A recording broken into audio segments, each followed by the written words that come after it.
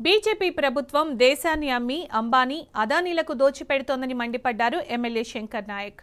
Gas petrol diesel ధరలను పెంచి పేద ప్రజల నడ్డి విరుస్తోందని విమర్శించారు.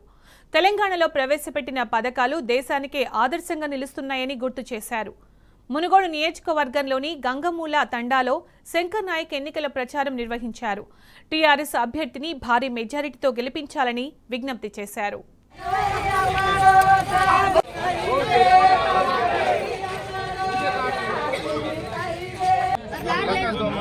ఇసుడు ఉన్నాయి